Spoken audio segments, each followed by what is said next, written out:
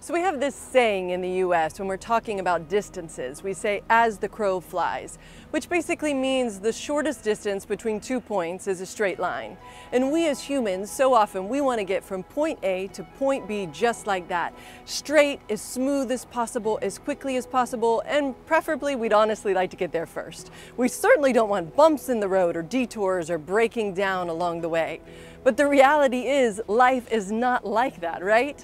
I know for us, when we came here to France, I had a very specific destination, a very specific mission and concept in my mind of what life here would be like. And I can promise you, almost eight months later, our lives look nothing like what I thought they would look like when we moved here.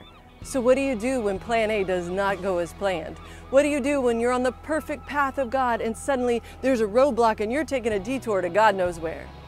You trust the one who started you on the journey to begin with. You trust that what is a surprise to us is not a surprise to him. That we maybe only see a little piece of the map, but he sees the entire map from beginning to end. And most importantly, you continue to listen for his voice, to seek his guidance because he will lead you. The Bible promises us in 2 Corinthians chapter 2 that the Lord will lead us in triumph, that he always leads us in triumph. And I know you may be thinking, right now, I feel like I'm being led in confusion and frustration and a sense of failure or anxiety.